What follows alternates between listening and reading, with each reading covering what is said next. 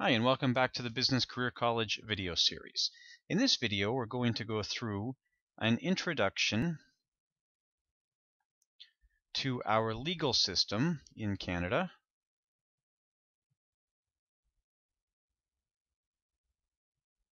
This video would be useful for pretty much anybody getting ready for any financial services exam.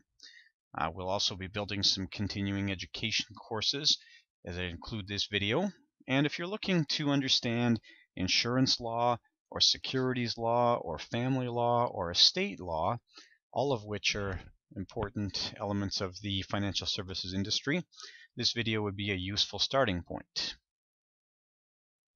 So we're going to break this down into five elements that we'll discuss. We're going to briefly discuss the common law and what it means.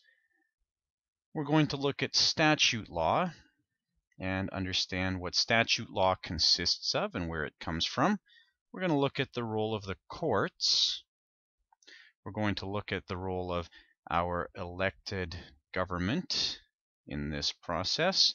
And we're going to look at the role of self-regulatory organizations, or SROs. These self-regulatory organizations fill a fairly important role in the financial services sector in Canada. So, the common law to start. The common law dates back to roughly the 1150s, and what we saw here was an attempt to create one common set of laws where previously there had been none. And the basic idea here was to bring together the laws that were being used in different parts of the land into one common system. So under a common law system, we're going to put heavy stock in what's called precedent law, or sometimes we refer to this as case law.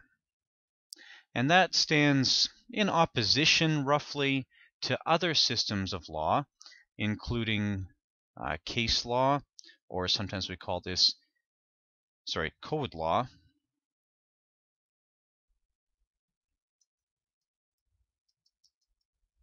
sorry, stands in opposition to code law, or sometimes we refer to this as Napoleonic law, or sometimes civil law. And of course, in Canada, we do have this practiced in Quebec. And this is pretty common in other parts of the world too that have their origins back to the French colonial tradition. And we have other alternatives too, such as the law of equity or laws of equity. And we still do have some laws of equity practiced in Canada. We sometimes find this when we have civil damages awards, for example. The law of equity is really an attempt to put both parties in a position that's fair relative to their problem or to their concern. Unlike then these other two sets of laws, the main concern around precedent law or case law is predictability. And this focus on predictability is designed to allow commerce to occur. So the idea here is that in a case law system, we have a fairly easy time conducting business because we know if we go to court what the outcome will be based on what's happened previously. Now, statute law, this is where we are starting from for the purpose of most legal discussions. This is our written set of laws. So we're going to have written laws here, such as the Income Tax Act or our Criminal Code,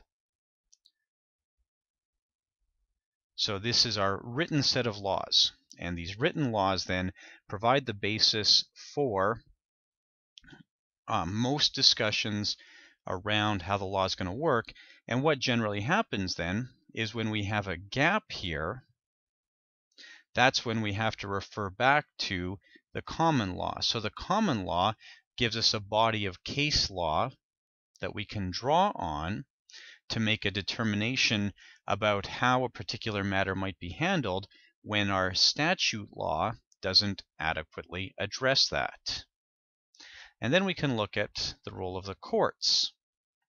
So the courts in Canada are part of the various departments of justice, either at the federal level or at the provincial level, and their role is the enforcement of our laws as written.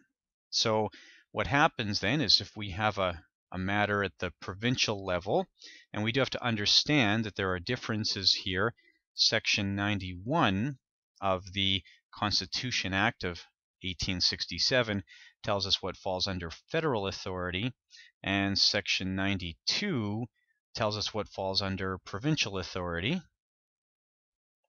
It is important to understand the differences here. Uh, for example, most securities and insurance matters fall under issues of provincial authority, most income tax questions fall under federal authority, although there are provincial authorities for the collection and administration of our income tax legislation. So what we're going to have then is the courts are going to deal with this at a number of different levels depending on the type of question. If we have a tort, that is an issue where one party feels that they've had harm done to them by another party in a financial or physical or reputation sense, then the courts may get involved. So a tort is sort of our fancy name for a lawsuit. And what happens here is one party sues another, and most of these matters would start off at the provincial superior or supreme court or the court of queen's bench whatever word we happen to use for it and it's sort of a misnomer when we talk about a superior or supreme court here. This is the first level of court you would deal with in most lawsuits. From there, if the parties are not satisfied, they may end up at a provincial court of appeal. And these are really the two provincial courts with which we're primarily concerned. And from there, we may end up at the Supreme Court of Canada which is quite rare. It's not very common for cases to end up at the Supreme Court of Canada. They'll typically see somewhere between about 50 to 75, definitely less than 100 cases that arise from provincial superior courts originally in a year, and they're generally going to choose cases that are of national interest or cases where there's uh, some key question that the Supreme Court feels is important. They're not just going to choose cases cases on the basis of an amount of money at stake or something like that. And then we look at elected government. So the role of elected government here is to pass new laws. So what'll sometimes happen then is we may have a case that goes to, let's say, a provincial court of appeal or all the way to the Supreme Court, and maybe our current government is not happy with that, or the current government is somehow compelled to step up and take some role with respect to this. So they will say, okay, we're going to write a law and that law creates some clarity where otherwise we'd have to refer to precedent or whatever the case is. So we're trying to maybe create some clarity or establish policy.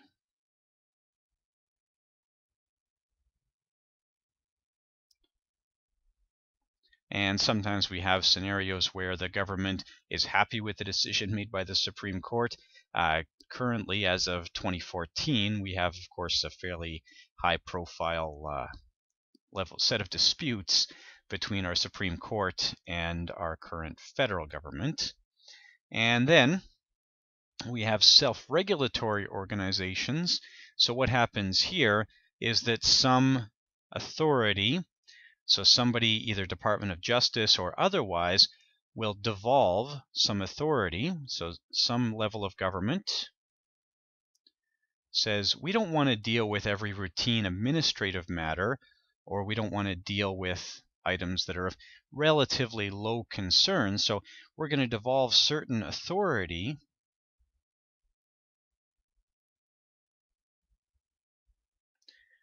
to a self-regulatory organization, an SRO. And these SROs, these are industry organizations. And these industry organizations are going to then take responsibility for the more sort of routine or regular matters so that government doesn't have to get involved with with these little items with every nitpicky little thing that comes up.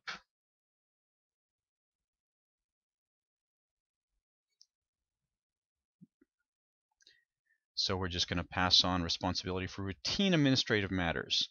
And we have a couple examples of SROs in this country, the MFDA, the Mutual Fund Dealers Association, or IIROC as well, are examples of securities SROs. So the MFDA deals with most matters concerning um, just the routine practice of mutual fund dealers. And then in the four western provinces as well, we have the insurance councils. So they do, both MFDA and the insurance councils, create um, regulation that has the force of law, but they are somewhat limited in their authority. They really are limited to be able to deal with those routine administrative matters. So we're going to delve into some of these in more detail as we push forward, but this provides us with a brief overview of the Canadian legal system. I hope this is helpful. Enjoy your continued studies. Thank you very much. Hi and welcome back to the Business Career College video series. In this video we're going to look at part two of our introduction to the Canadian legal system.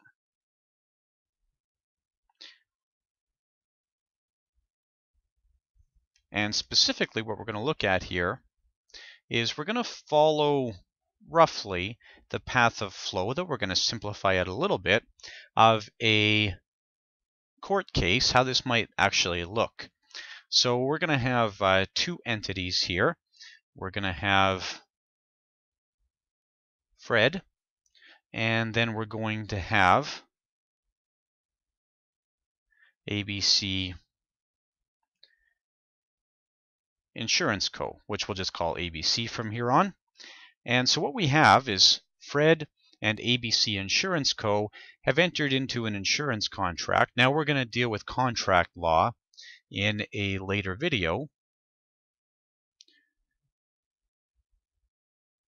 But for now, we can see that Fred and ABC Insurance Co. have entered into this insurance contract. This creates a relationship between the two. Now, at some point down the road, let's say that Fred finds himself in a position where he feels that ABC Insurance Co. should pay him something as a result of this insurance contract, and ABC Insurance Co. says, no, we don't feel that way, so we have maybe a denied claim here. And this denied claim then brings us to insurance legislation. So almost certainly we would end up dealing under the Provincial Insurance Act for the province in which Fred is resident. That's almost certainly what would happen. There are some possible exceptions to that, but that's almost certainly how this works out. So, Fred says, I'm not satisfied with this. He tries some informal means of resolution. A lot of times today, the courts won't entertain Fred's claim unless it looks like he has tried his informal means of resolution, and there are all kinds of these most insurers have an ombudsman, and then there would likely be a provincial insurance ombudsman as well. Most provinces have one. So he tries the various ombud services that are available, and he does not get any satisfaction out of that. So now, what he might do is he might pursue a tort. And a tort refers to a harm caused to Fred's wealth, property, person, or dignity. In this case, he would demonstrate most likely that it's harm caused to his wealth. And a tort simply is a fancy way of saying a lawsuit. Tort is from the French literally for harm. So this is our lawsuit here. Sorry, I guess those quotes are not appropriate. And this still might result in an informal resolution. It's actually quite common in our legal system today, owing especially to the costs associated with going to court, that we would maybe make an out-of-court settlement. So we might settle out of court, but that's not a particularly, or that's not how we want to resolve this here, because we want to see how the whole system works. So what happens now is before we go to court, we're going to go through the process of discovery. There might even be a little bit of negotiation that happens here. And discovery is simply when we have a sharing of evidence. So this is where both parties present evidence, and typically it's done in a somewhat informal setting uh, with a reporter, with a court clerk there to write this all out, but not under the eye of a judge or anything like that. So then we end up, assuming we can't make a successful out-of-court settlement, we end up in court. And we would end up at what's called the court of first instance. And that simply means the first court that you go to under ordinary circumstances. In this case, the court of first instance, depending on the province that you're in, is going to be called the Superior Court, or somewhat misleading, the Supreme Court, or maybe a Court of Queen's Bench. These are the terms we normally apply here. Other examples of courts of first instance include, uh, for example, family courts or traffic courts, or most criminal courts are courts of first instance. So this is just the first place we're going. Estate courts or probate courts are also courts of first instance. And once we're done here at the court of first instance, or so what will happen here at the court of first instance is both parties will present their evidence. And of course, we're assuming that there are lawyers involved here. So they're going to present their evidence before a judge, and then that judge makes a determination. A ruling. And this ruling is going to be based on a couple of different items. So the judge is going to look at the laws as written. The judge will refer to statute law. And if there's a very clear set of facts, so this is where we get into a very important legal concept called the questions of fact or a question of fact.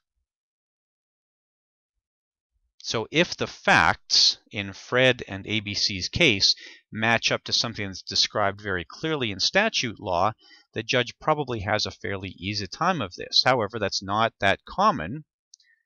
It's quite common that the facts are not as clear as what we see laid out in statute law.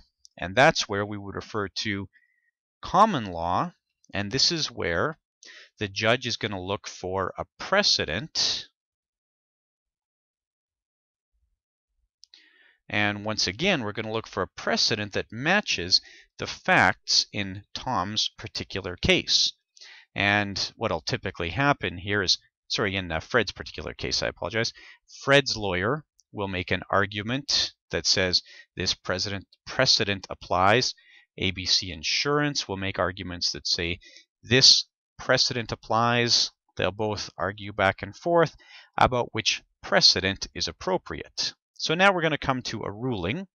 So the judge makes a ruling based on these factors. Now, we may end up with, and it's quite likely we do in fact, end up with somebody who's dissatisfied here, somebody who feels that this ruling is incorrect, and that's where either Fred or ABC Insurance Co. might file an appeal. And this takes us to the next level in the provincial court system, which is the appeals courts. The appellant courts or appeals courts. And what happens at the appeals courts, it's not going to be a new case here. Basically, we in most provinces have three senior judges. And these three senior judges will review the work done by the judge at the court of first instance. So they'll review the first judge's work and they'll say, hey, did that first judge properly apply the questions of fact here. Were the facts properly applied? And how did they match up? How did those questions of fact match up with the statute law? Was that properly applied? And how did that apply back to the common law? So these judges are going to review these factors and make a determination and say yes or no, this works or this doesn't work. Now, generally, that's where we stop. Generally, the appeals courts will make a ruling, and that's where most cases stop. It's rare, quite rare in fact, but it is possible that we could have a further level of appeal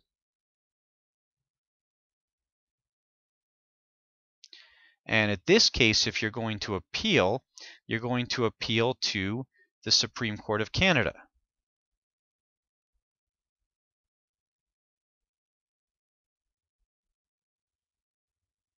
And the Supreme Court of Canada says, okay, we only look at a small number of cases each year, somewhere less than 100 cases, that come from the provincial court system are seen by the Supreme Court in a given year. And what happens then at the Supreme Court is they will choose cases based on national, instru- national interests or if there's a constitutional question or sometimes the Supreme Court chooses cases where there's a gap where they interpret there to be a gap in legislation where they say, hey, the the legislators at a particular level should identify this gap. We're going to point it out for them that there is this gap. We're going to see that case. Now, this is a very expensive process, quite cumbersome, quite time consuming, not the ideal way to settle most matters, but it does happen that some cases end up at the Supreme Court. Now, once we are at the Supreme Court, here these judges will see evidence and they will treat the case as if it's a new case. They'll see everything from scratch in most cases. And based on that, they will make a ruling. And because these rulings almost inevitably create a precedent, and that precedent generally applies in all provinces that have similar legislation. So, because of this, the Supreme Court goes through a lot of work when they're writing their decisions, and we'll see this that the majority decision, that is the ruling decision or the winning decision, there'll be a, a raft of uh, legal thought behind it, and that legal thought is all presented so that anybody can go and look it up and then even the minority judges write a very long decision typically stating all of their opinions on the matter and why they feel that the decision should have gone the other way. This becomes very important because of the weight that we give to Supreme Court of Canada decisions. So I hope this helps to understand our legal system. We don't want to end up in court. You can see that it can be quite an onerous and expensive process, but it's good to understand this process, and I think it does help to understand the relationship between statute law and common law, what we really mean when we talk about a precedent. I hope you enjoy your continued studies. Thank you very kindly. Hi, and welcome back to the Business Career College video series. In this video, we're going to look at legal relationships. We're going to work on defining the relationships that two parties might have, or more than two parties might have in some cases, in the eyes of the law, and see what these relationships mean and how they translate into uh, various degrees of responsibility. So, the first the first level of relationship that we'll consider is what's called a duty of care. And the duty of care is the relationship that we owe to most of the people that we deal with in our lives. So this is people essentially in passing. If you have property, you owe a duty of care to people who are visiting your property, who are invited to your property, who are doing work on your property, and even trespassing on your property, although the extent to which you're duty of care is owed varies there, but it's important to note here that we have a duty of care to an invitee, that is somebody that you actively invite. You have a duty of care to somebody who's working on your premises. And you have a duty of care, as I mentioned, to even a trespasser, somebody who's there without your permission. And that's actually very important, helping us to, to understand a duty of care and why it's important. This is where we take appropriate steps to make sure that our property is in such a condition as not to cause others harm.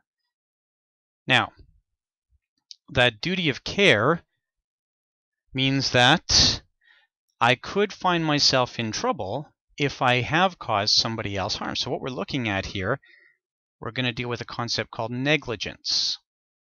So negligence means that I have done something that has caused harm to another party. And there are typically three elements of negligence here. So there would have to have been a duty of care owed.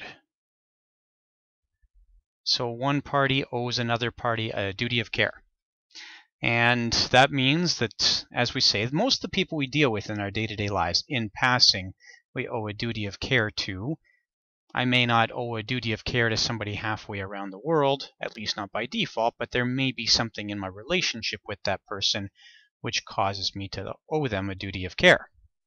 And then I would have to have breached that duty of care.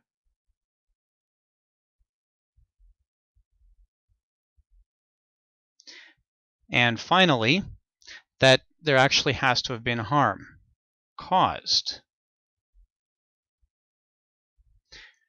So we have to remind ourselves then that these three things have to have happened, that I owed that person duty of care, that I breached that duty of care, and that that caused harm to that other party. And if those three things can't be proven, then we probably don't have a concern here. Now that harm, as we've seen in other videos, might be financial harm, it might be physical harm, it might be reputational harm. It could be emotional harm. And I should remind everybody that if you're actually trying to solve a legal problem yourself, you want to go and get yourself competent legal advice. These are only very, very broad generalities that we speak in, and each individual circumstance is quite different potentially. So a duty of care is the basic level of relationship. We then have the possibility that there's a professional relationship.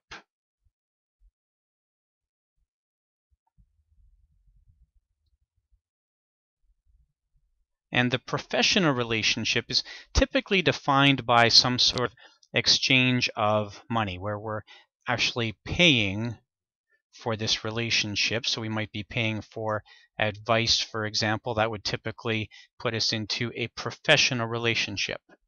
And here we expect this person to be competent. This is the expected standard. This is actually where, despite much of what we hear otherwise, as of today, it's uh, mid 2014 here, as of today, this is where most financial services relationships lie, is in the area of professional relationships. So, for example, insurance and investment advisors typically owe their clients a professional relationship or professional duty, which means that, hey, that client's paid for advice and we have to be competent here. So this sets a higher standard than what we see under duty of care. We saw under duty of care that we had to demonstrate that a duty of care was owed and that that duty of care was breached. Here, we've already established that there's a professional professional relationship, so we have to show that so we've already established that. So we have to simply demonstrate here that the person who provided that professional advice was not competent. That doesn't mean they have to be right. That's not the same as being right. There are times when it's okay to be wrong, and examples of that sometimes are interpretations of more complicated areas of the Income Tax Act. And then we have the highest standard of care that might be owed, and that is a fiduciary standard. Or a fiduciary duty. And in a fiduciary standard, or a fiduciary duty, here we have to put the best interests of the other party ahead of our own.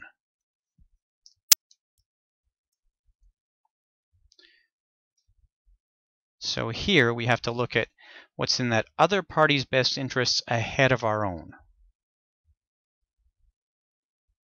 This is a very rigid standard. There are actually not that many relationships under Canadian common law that fall into this realm of a fiduciary duty or fiduciary standard. We have the leading case. Oh, I should mention one more thing here. We also have to establish what's called a special relationship of trust, or we have to prove that the special relationship of trust existed. Now, I am going to show in a few minutes here where there have been examples of a fiduciary standard with financial advisors, but it's not the default, despite what you'll find taught in several courses, for example.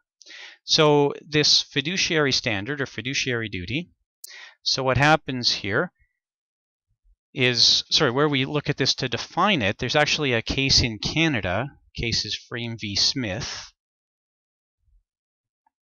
and in the case of uh, Frame v. Smith, what happened here, we had a parent, Smith, who was withholding visitation rights from Frame. So this is a divorced couple or a separated couple.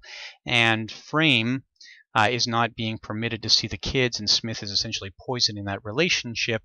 Frame sues and says, hey, it's in the kid's best interest to get to spend time with me. Smith is preventing that from happening. Smith is not acting in the best interest of the children. And this is actually where we see fiduciary standard defined. So one example of a fiduciary standard in Canada then is parents to their children. Other examples, doctors have a fiduciary relationship with their patients. Lawyers generally have a fiduciary relationship with their uh, clients, accountants, in some cases do, but not by default.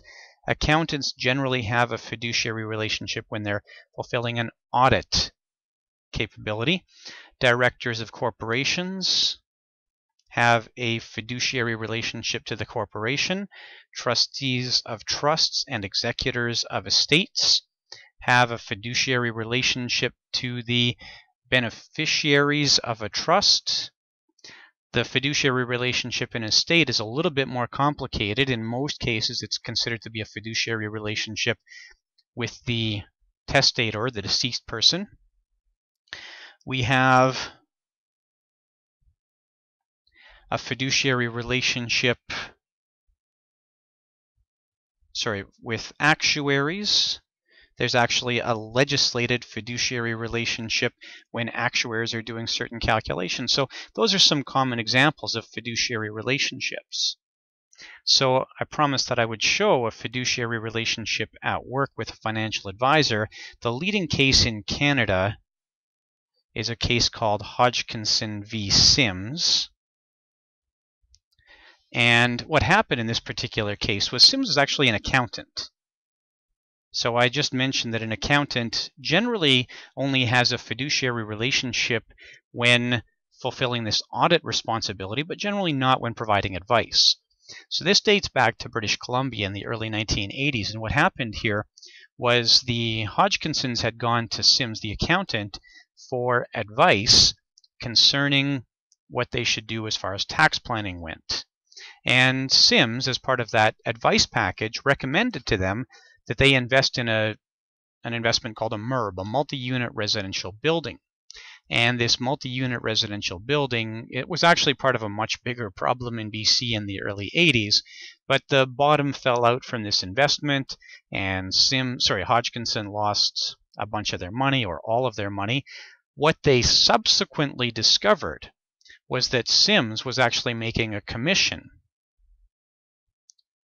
on this sale.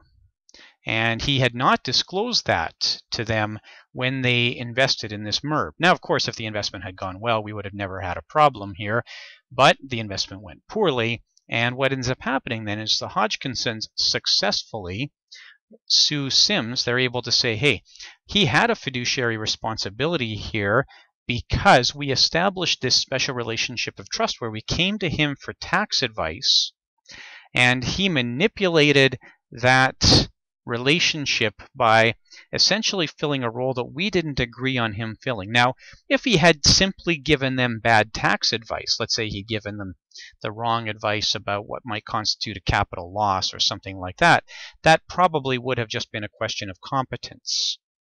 But they felt it was important to demonstrate that he was acting as a fiduciary, and they were successful in this argument.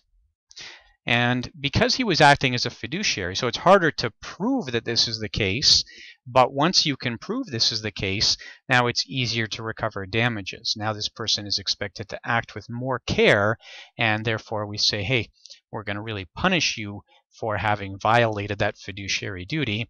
If it had strictly been a question of a professional relationship, it might have been harder for the Hodgkinsons to recover any loss. Now, these are all our sort of default arrangements. But if I want to go beyond these relationships, if I want to establish a more firm relationship, that's where we delve into areas of contract law. So that's where we want to have a contract, and that establishes a relationship beyond just these default relationships. And we will talk about contract law in a later video and define what that contract actually is. So the contract can establish a better defined relationship and then we're not worried about proving that hey you were you owed me a duty of care or you owed me a professional relationship or a professional duty or you owed me a fiduciary duty instead we use this contract and this defines the relationship between these two parties so if I don't want to fight this battle later on, I'm going to go and I'm going to deal with contract law here. Now, that being said, if we go to a lawyer to have them write a contract for us, that lawyer is acting on their fiduciary standard, but the contract then is established between the parties to the contract. So I hope that helps. I want to remind everybody that if you're looking for legal advice, you go find yourself a competent legal professional who understands the issues at hand. This is meant simply as a general overview of some fairly complicated legal principles. I hope this helps. Thank you very much and enjoy your continued studies. Hi and welcome back to the Business Career College video series. In this particular video we're going to look at the corporation. Now, there are a number of reasons why we incorporate, but what we're concerned with for the purposes of this course primarily is the business corporation. The idea of incorporation dates back to around 1200 or so when we started to see in England uh, municipalities um, permitted to incorporate, notably the city of London traces its incorporation back to 1215 for business purposes, we didn't see corporations used until the early 1600s with the Dutch East Indies Company out of Holland. Today, though, the corporation is a very ordinary way to operate a business. So here's what we have with a corporation. You'll normally see it drawn like so, as a little rectangle, and we'll call this just the corp. And so we have a variety of people that are involved with the corporation, but fundamentally the corporation is its own separate tax and legal entity. So this means it files its own tax returns, it has its own tax year, it has its own tax rates. So for all of these purposes, it's a separate entity and it uses even a different tax return form. It uses a T2, whereas a person normally uses a T1 in Canada. The legal aspects, it's actually considered to be what we call a legal person. And what that means is that it can sue and be sued, it can enter into contracts. It is actually considered to be a separate person for legal purposes. So now we have the variety of people who are involved in the corporation, and it's important to understand this. One of the big considerations around incorporating is that we're going to create this separate entity, but we have to have some people who are involved in this. So first off, we're going to have our shareholder or shareholders. And these are generally either the people who originally put up the capital to create this corporation or people who have, since the corporation was first hmm. incorporated, people who have acquired shares from those people who originally acquired it or from the corporation itself. Now, these shareholders have three rights. They have the right to dividends of the corporation, which is a share of the after-tax profits of the corporation. They have voting rights, which is probably the most important right, and we'll talk about that momentarily. And they also have the right to the equity of the corporation. They're considered to be equity owners of the corporation. That is, they're the ones that would get the assets of the corporation in the event that everything was liquidated and all its debts were paid. Now, these voting rights become important because this allows us to appoint the directors or to vote for, elect the directors of the corporation. The directors fill their own set of roles here. They have not rights here, they actually have responsibilities. They have a, in fact, fiduciary responsibility to the corporation. And there's a lot of debate about what that actually means, whether that means they're responsible to the shareholders or to the corporation itself. That's a big picture legal question that we don't really know the answer to. The directors then in their fiduciary responsibility are responsible for the day-to-day -day affairs of the corporation. Oops. Sorry, the day-to-day -day affairs of the corporation. So they're actually the ones who are responsible back to the shareholders to operate the corporation. And among other things, the directors would decide how much dividends the corporation would pay out to those shareholders. And then we have the people who are actually working in the corporation. So that's where we're going to have our management. And that's people like our officers, so the chief executive officer, the chief, chief operating officer, and so forth. And we're also going to have then our executive, our president, our vice presidents, and so forth. And there's some blend here or some crossover between these for sure. So then, in addition to our management, we have, of course, the staff, the folks who fill the roles that uh, actually makes the corporation be able to go out and do what it does. In a small business, when we're looking at a smaller incorporated entity, it's very common that the shareholder and the directors and the management and the staff are all the same person or group of people. But as businesses grow up and become more and more mature, we start to see more separation at each level here, where we have distinct management staff, directors, and shareholders. So those are the parties involved. So now what we're going to look at are some of the advantages and disadvantages to incorporating. So there are several advantages. And depending on the exact structure we're using, some of the advantages we see to incorporating are this separate legal liability. So if I'm a shareholder of a corporation and my corporation does something that would create some liability, that liability stops for the most part at that corporation. Generally, it won't impact on my personally owned assets. So we have separate legal liability, what else do we have to look at here? Well, we have, generally speaking, this is not universally true, but generally speaking, corporations pay lower taxes than individuals do. We have the ability then to bring in other shareholders, so we can income split based on, for example, if I'm incorporating a business, I would have my spouse as a shareholder, and I would be a shareholder, and that way both of us can generate income out of that corporation. There can be some other problems with that, but that is an advantage that we have available. We have other advantages here. We have access to the ability to sell the business or sell the corporation in a tax favored manner, maybe using the lifetime capital gains exemption, which we'll talk about in another video. This can actually save you a fair bit of taxes. We can wipe out, as of 2014, the first $800,000 of capital gains on the sale of qualifying small businesses.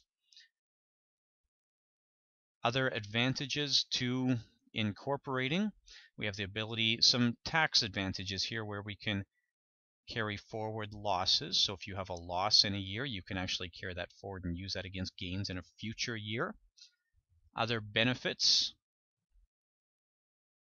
we have the ability to defer income and we can choose the character of our income where we can choose salary or dividends for our shareholders. So quite a few advantages here, and there are a few more, but those are some of the more obvious advantages to incorporating. And then we would look at some downsides potentially to incorporating, some disadvantages as well. So some reasons why you might not want to incorporate. And you might consider here, oh, I should mention one more advantage, sorry, I missed a big one here, and that is the ease of succession. So with a corporation, you create a perpetual entity, and it does allow you then to sell that entity or to give that entity to another party. My disadvantages, then, if we'll pop over here, it is expensive. Now, some people will argue that you can set up a corporation for a relatively small financial commitment, and that's true, but when you do it yourself with these kinds of things, it's sort of like writing a will yourself. You're really maybe giving up some of the advantages when you don't take into account all the possible considerations that you should take into account. You have an initial cost of setting this thing up, and then you have some annual requirements. You have to file corporate returns annually. So whatever jurisdiction you've incorporated in is going to want to know that your corporation is still doing business, still alive as it were. And it's going to require corporate returns, and then also we're going to have tax returns that have to be filed each year, and those can be a little bit more cumbersome than your typical personal return. Now, this is debatable, but some people would argue that a corporation represents a loss of control or a potential loss of control, and this can happen in some cases where we have our shareholder who incorporates a business and then we have some directors here and maybe we bring in some more shareholders, sell some shares, and those other shareholders don't agree with us and end up appointing a board of directors that doesn't necessarily support what we do. So you can have this potential loss of control. And on the whole, it's just a slightly more complex structure than just owning assets personally and running things personally. So those are the basics of incorporating or the basics of the corporation. We will talk about more of the detail around the corporation in a later set of videos. I hope this has been helpful just to give a basic understanding. This is sufficient at the level for those going through a life insurance course or for the mutual funds course. If you're in a financial planning course, then you're going to have to delve into especially issues around salary or dividends, the ability to defer income. There's much more to discuss in a financial planning course, and we will talk about those issues in a later video or later videos, sorry. So I hope this is helpful and uh, enjoy your continued studies. Thank you. Hi, and welcome back to the Business Career College video series. Again, this is Jason Watt, and in this particular video, we're going to look at the trust. And we're just going to look at a brief introduction to the trust. There's a lot more that we can potentially know about the trust, and we're going to look in some later videos at the application of these trusts. If you're going through a financial planning course, this is very important information. For those going through maybe the life insurance course or to a lesser extent the mutual funds course, this is good general information, but it's not the whole range of information. And of course, this does get into a little bit of legal and tax principles, and if you're looking for legal and accounting advice, of course, you should go out and seek the advice of a qualified professional. So, a trust is basically just a way of owning property. And all we're going to do here is we're going to separate out the different ownership structures here. We're going to separate the legal ownership of property from the beneficial ownership of property.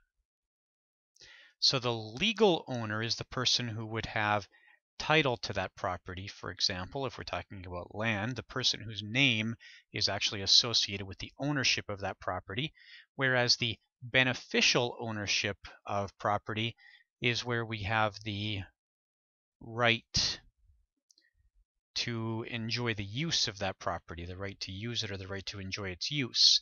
And this is also, incidentally, where the tax consequences of ownership reside. So one of the better known financial planning instructors in the country, a fellow by the name of Larry Wood, will always say that trust means no trust. And I'm a big fan of this saying. It's a good way to look at this. We're going to use a trust only when there's somebody or some circumstance that we don't trust. If I trust everybody and I'm confident that things are going to just work out the way that they're supposed to work out, then I have no reason to separate the legal and beneficial ownership of a piece of property. I would just give that property straight over to the beneficial owner and let them enjoy both the beneficial use as well as the uh, use of that property in title, the legal ownership of that property.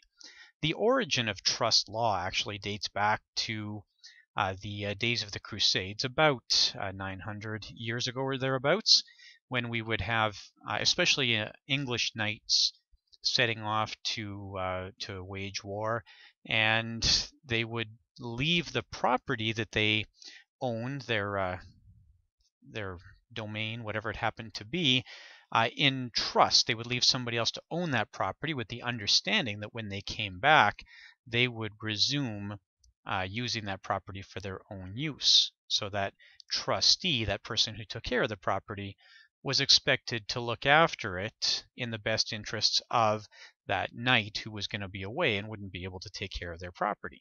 So normally when you see a trust, it's just drawn out as a triangle like this. Normally in an organizational chart, a, a trust is a triangle and a circle is a person. So we're going to see a few of each here. So I'm going to have oops, the settlor of the trust. The settlor of the trust is the person who actually establishes the trust. This is the person who's going to set up the trust, and this person is the one who's going to put property into the trust. We have to meet what are called the three certainties here. So we have certainty of intention. So there has to be a clear intention that the settlor was going to take care of somebody else. That somebody else is what we call the beneficiary or the beneficiaries of the trust. So we would have these people out here, this beneficiary or beneficiary, that would be taken care of. The fact that we know we're going to take care of them meets the certainty of intention and the fact that we can identify those beneficiaries means that we have met the certainty of objects. That is, we know who the objects of the trust are, who's going to benefit from this trust. And finally, we have to have some property that would settle into this trust, and that's what we call the certainty of subject matter. That is, we can identify that there is actually something that's been settled into this trust. And now we also have to name, and it doesn't have to be one person, this can be a person or this can be a corporation where we're going to have a trustee, somebody to take care of this property. This person, this trustee, and this is a word we've seen previously, has a fiduciary responsibility to the beneficiaries of the trust to some extent. They do have to look out for the best interest of those beneficiaries, but they first and foremost have to meet the conditions of the trust that are established by the settlor. So an example of a trust, and it's easy to understand trusts when we start to look at examples of why they might be applied. So we might have a settlor here who has died. If the settlor is deceased, then we would have what's called a testamentary trust. It would normally be established through the will of the settlor. It doesn't mean that they wrote their will while they were while they were alive. That doesn't actually settle the trust or constitute the trust. They would have written their will, and then when they died, the trust is created. That's a testamentary trust. And they put some piece of property. Let's say, uh, how about the family cottage? into this trust. And they want their kids, maybe the reason they did this is because they didn't want their kids to squabble over the ownership of this cottage. So they say, my kids